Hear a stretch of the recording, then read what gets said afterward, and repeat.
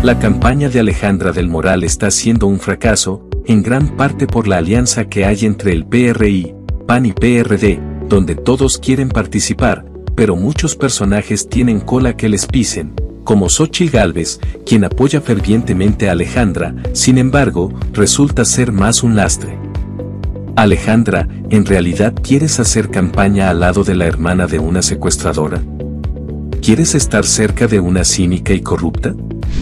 Mientras tanto, Delfina Gómez se ha rodeado de gente que se preocupa por el bienestar de los mexiquenses, sigue recorriendo las calles y haciéndole saber a los ciudadanos que se está construyendo un proyecto transformador, con el que acabará con la corrupción, la inseguridad y el saqueo.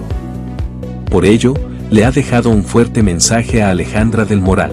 Y la candidata del PRI, pues se ha pasado todo el debate atacando, calumniando, y ¿saben qué? Pues la entiendo Entiendo su desesperación, está 20 puntos abajo en todas las encuestas y no debe de ser nada fácil saber que será la responsable de entregar el gobierno del Estado de México al pueblo después de 100 años.